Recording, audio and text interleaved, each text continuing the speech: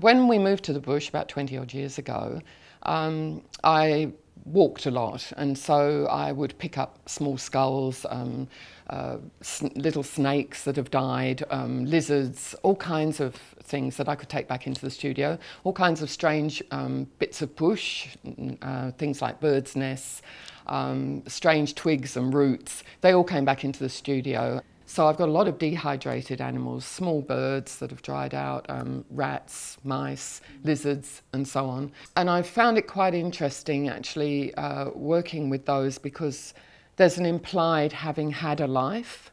And I suppose at one stage I, I thought, well, it's kind of nice in a way because I'm actually giving them another kind of life by putting them into one of my paintings or drawings. I think that my work is, uh, is very much autobiographical, both, both by the things that I collect and also, most recently, uh, in the inclusion of my own self portrait. I'm really interested in trying to understand what I'm drawing very much from my own perspective, particularly for instance, when I'm drawing my own head, I'm looking for something more than just that image we have stare back at us in a, in a mirror. I'm looking for something that is uh, a much deeper and psychological sort of um, expression of myself. So I want to know more about me, so I'm doing much more drawing about me at the moment. From the beginning, I'm not quite sure what the work is going to look like. I just start intuitively working. And in the case of derangement, it was very much about drawing inside the studio. I decided I would do some drawings surrounded by all of the objects that are in, in the space. As it went along, of course, I realised that some of those objects are going to cause um, a response. So the, the dehydrated kangaroo has all kinds of connotations that people respond to. Although it was very much about my studio, I had to acknowledge then that anybody who saw it would also respond to those objects and what they're loaded with. And then I thought, well, it's my studio, I need to put me in it. So I decided to put the head in, and I put the head in in this provocative way um, to make it interesting for myself. I'm more interested in uh, candid images of um, people. And so, yeah, so it had to be a screaming or is it laughing head.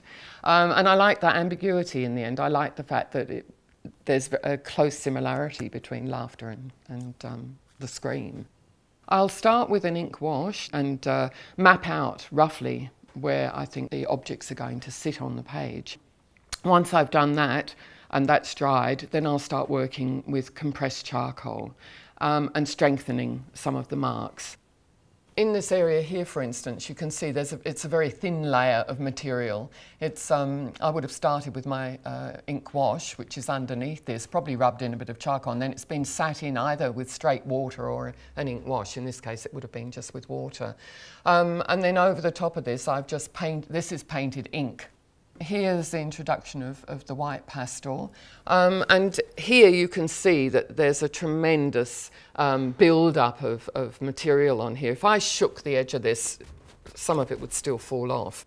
The constantly changing of objects or deciding to drop an object out and introduce another one constantly goes on. This bird was moved, for instance. My head didn't come in until much later on originally here I tried there was no there was no object it just had the baskets and then I introduced another sculpture and it sat very uncomfortably in the space so I washed it out with I rubbed it out first with my hand um, I wear gloves when I'm drawing and then I um, washed water over that so it sat back in and then I've just used ink to re redraw the bird's head in there.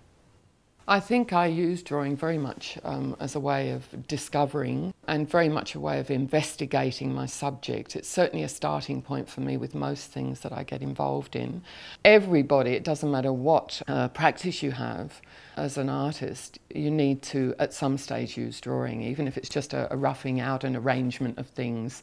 It's just this so much importance in the ability to draw. I mean, I for me, as I said, I hadn't honed those particular skills where I actually had to look and put for years. I hadn't actually used that.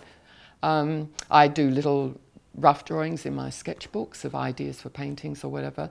But I think that um, it's very important to learn to, to look and put. And it's a skill that you'll never lose. You know, it just needs a bit of practice every now and again.